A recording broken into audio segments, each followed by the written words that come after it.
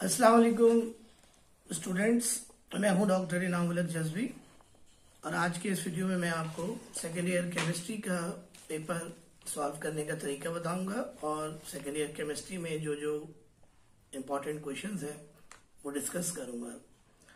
तो सबसे पहले आ, मेरा ये कहना है कि जब आप पेपर अटैम्प्ट करें तो सबसे पहले लॉन्ग क्वेश्चन जो है वो अटैम्प्ट करने चाहिए। तो इनऑर्गेनिक केमिस्ट्री के सेक्शन से एक क्वेश्चन आपने करना होता है और एक ऑर्गेनिक केमिस्ट्री के सेक्शन से करना होता है तो सबसे पहले लॉन्ग क्वेश्चन आप अटेम्प्ट कर लें। उसको आप जो है वो मैक्सिमम उसके अंदर जो है वो डिस्क्रिप्शन लिखें लॉन्ग से लॉन्ग क्वेश्चन का जवाब लिखिए और फिर उसके बाद शॉर्ट क्वेश्चन जो है आप अटेम्प्ट करें। शॉर्ट क्वेश्चन में अगर आंसर ब्रीफ भी होगा तो हमारे नंबर कटने के चांसेस कम होंगे।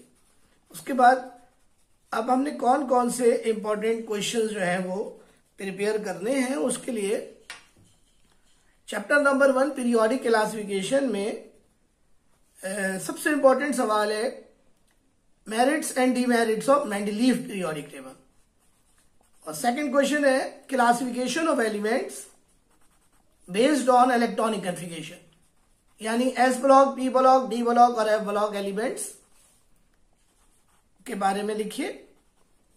And short and long periods of the periodic table chapter number two hydrogen में तीन इंपॉर्टेंट क्वेश्चंस हैं. Number one binary compounds of hydrogen binary compound छह टाइप्स हैं. छह की छह आपने करनी है, लेकिन तीन बहुत इंपॉर्टेंट है. आयोनिक हाइड्राइड्स कोवलेंट हाइड्राइड्स और कॉम्प्लेक्स हाइड्राइड्स दूसरा सवाल जो हाइड्रोजन में इंपॉर्टेंट है, वो है industrial preparation of hydrogen specially from water gas और तीसरा अहम क्वेश्चन है एडोमिक और नेसेंट हाइड्रोजन पर. एक्चुअली ये लॉन्ग क्वेश्चन नहीं है, लेकिन ये लॉन्ग क्वेश्चन में अमूमन आ जाता है तो इसको भी प्रिपेयर कर लीजिए। Chapter number three S block elements में जो लॉन्ग क्वेश्चन हैं, उसमें सबसे इंपॉर्टेंट है सॉल्वे प्रोसेस दूसरा Castner Kellner process Castner Kellner process for the manufacture of caustic soda दो ये क्वेश्चन बहुत इंपॉर्टेंट है। और तीसरा सवाल जो है, वो शॉर्ट में है और उसका नाम है Down process for the extraction of sodium P block में जो है, वो तीन क्वेश्चन बहुत इंपॉर्टेंट है। Number one Ostwald process for the manufacture of nitric acid contact process for the manufacture of sulfuric acid and extraction of aluminium from bauxite ore ये तीन question P block में इंपॉर्टेंट है और आखिरी chapter D block का इसमें जो है वो तीन सवाल इसमें भी इंपॉर्टेंट है और ये सवाल है जनाब extraction of copper from its sulfide ore, especially the refining of copper. And properties of D block elements.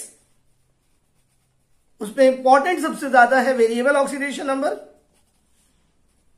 number two colour formation number three magnetic properties and number चार कॉम्प्लेक्स फॉर्मेशन ये चार properties important है।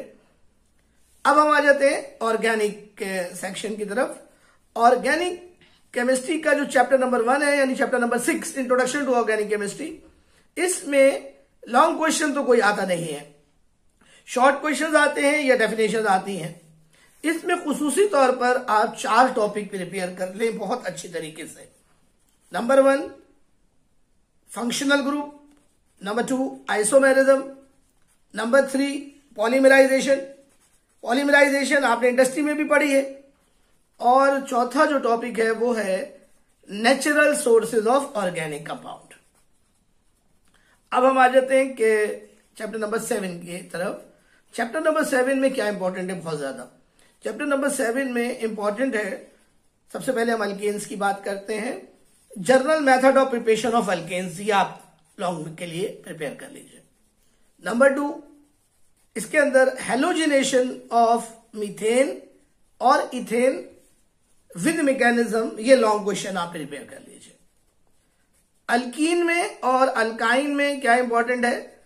Alkyne में alkyne की first three preparation alcohol से अल्काइलाइट से और वेसिनल डाइहलाइट से। इसी तरह अल्काइन के अंदर भी जो अल्काइन की प्रिपरेशन है, वो आपने करनी है, वो भी इंपॉर्टेंट है।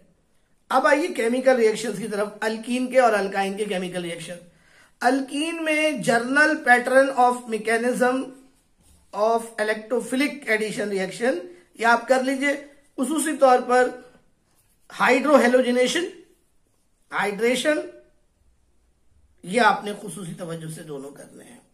इसके अलावा अल्कीन के अंदर आपने अल्कीन की ऑक्सीडेशन का टॉपिक बहुत कंसंट्रेशन के साथ प्रिपेयर करना है। अल्काइन में अल्काइन के substitution reactions are very very important अब आते हैं chapter number eight alkyl halide की तरफ़।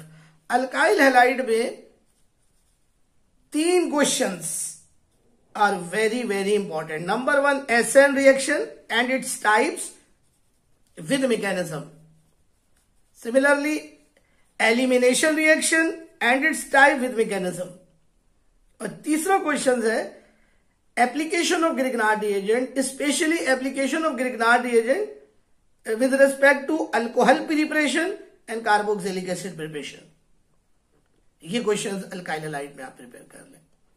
अल्टी अब आते हैं चैप्टर नंबर नाइन अल्कोहल की तरफ़। अल्कोहल के अंदर आपने लॉन्ग क्वेश्चन कौन सा प्रिपेयर करना है? अल्कोहल में लॉन्ग क्वेश्चन जो है, वो फर्मेंटेशन ऑफ़ स्टार्च और मोलेसिस ये लॉन्ग क्वेश्चन है। अल्कोहल का सबसे इंपॉर्टेंट दूसरा अल्कोहल का जो इंपॉर्टेंट क्वेश्चन है वो अल्कोहल की केमिकल रिएक्शंस स्पेशली जो मैं आपको बता रहा हूँ कंडेंसेशन डिहाइड्रोहेलोजिनेशन ऑक्सीडेशन ये तीन रिएक्शंस बहुत इंपॉर्टेंट है। ये आपने खसूसी तौर पर प्रिपेयर करना है अल्कोहल में। अब आते हैं अल्डिहाइड और कीटोन में।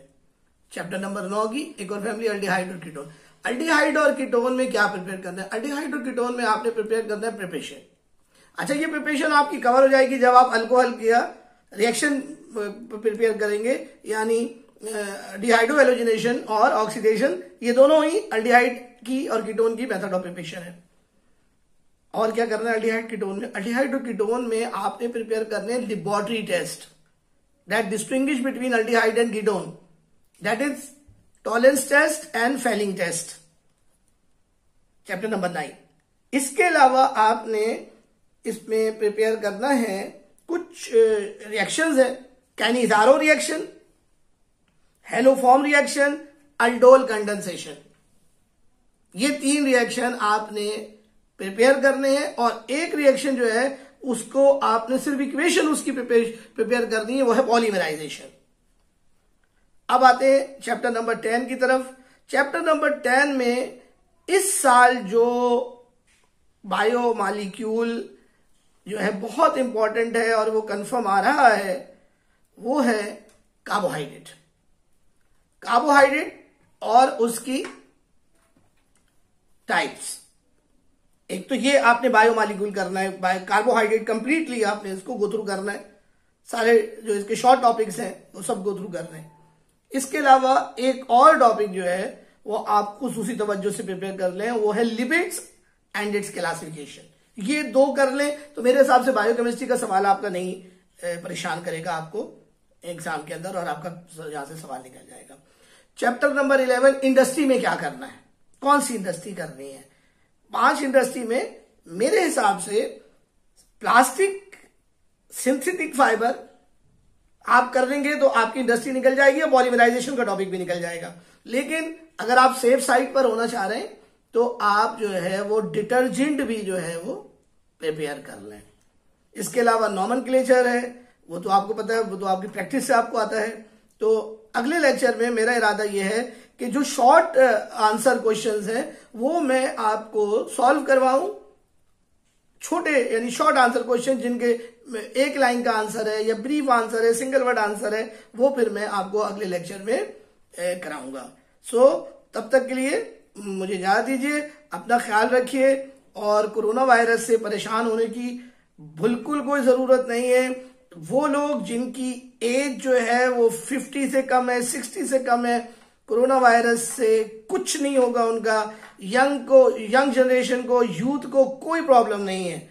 तो हमें अपना ख्याल रखना है, सिर्फ़ अपने बुज़ुर्गों का, उनको कोरोना वायरस से बचाना है। और उनको कोरोना वायरस से बचाने के लिए यह है कि हम जो है, उनके साथ कम से कम जो है, वो इंटरेक्ट करें, उनसे एक खास डिस्टेंस रखें और उनकी सफ़ाई का ख्याल रखें, उनको बीमार नहीं होने दें। और अगर उनकी इम्यूनिटी जो है, वो कमज़ोर है तो उसको इम्यूनिटी को जो है वो इन्हांस करें, उनको यखनी पिलाएँ, उनको खैबा पिलाएँ, उनको उनको जुशादा पिलाएँ, उनको उनको वाइटामिन सी यानी ऑरेंज जूस पिलाएँ। इस तरीके से लेमन और लेमन का पानी जो है, वो गर्म पानी में लेमन डालकर उसको उबालें और वो लेमन का कहवा जो है, उनको पिलाएँ। और इसके अलावा एक बड़ा अहम चीज़ जो है, वो मैं बताऊँ आपको कि आप लोग जो है, वो अपने नाक में दो कतरे जैतून का तेल चार दफ़ा सुबह दोपहर शाम रात को डालें। तो इनशाला कोरोना वायरस से आपका आपका आपका महफूज हो जाएँगे आप, आपका तहफुज हो जाएगा। सो मैं उम्मीद करता हूँ कि ये सारी सिचुएशन में आप लोग पैनिक नहीं होंगे। अल्लाह पे भरोसा रखिए, अल्लाह पे तवक्कुल कीजिए। कुछ नहीं होगा इनशाला ओके अल्लाह हाफिज।